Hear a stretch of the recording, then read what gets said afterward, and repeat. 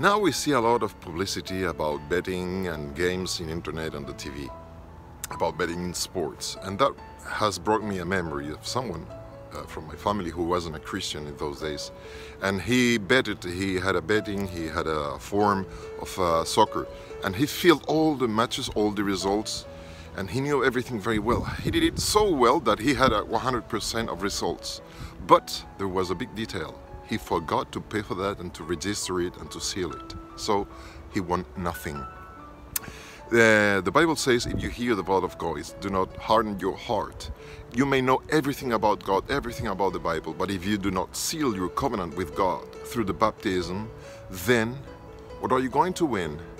Nothing. So what are you waiting for? Just do it.